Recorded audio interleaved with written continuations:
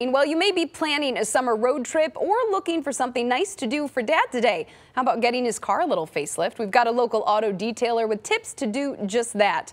Here with us now is Detail Garage Detroit East owner Garrett Kubiak. Good morning, Garrett. Thanks for joining us. Good morning, Jen. How are you? I'm doing great. So what are a few things people can do to protect their cars against some of those summer annoyances? And I'm thinking like bugs, dirt, leaves. I know for a lot of us, the cars have been sitting in the garage for much of the pandemic.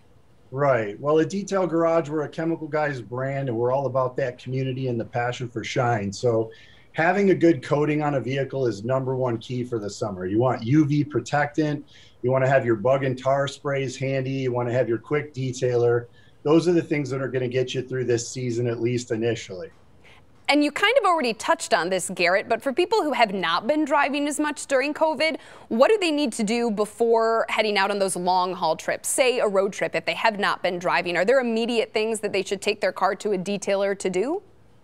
Well, yeah, I mean, we're all about allowing you to do that yourself, right? And uh, when you when you maintain your own vehicle, that's like the window into seeing future mechanical problems, right? So don't disregard that engine bay. Do light engine bay detailing.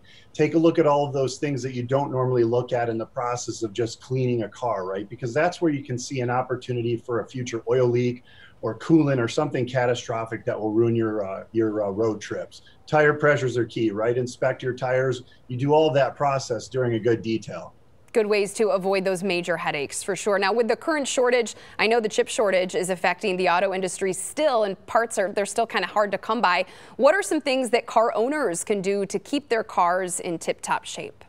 Yeah, again, it's all about a full circle detail here. The the paint uh, paint uh, correction, making your car look amazing. With the shortage out there, there's a lot of depressed used car or sorry, new car inventories. So used car values are now higher than ever. So it's critical that customers take proper care of their vehicle, including making the surfaces look, the exterior surfaces look amazing, the interiors look amazing.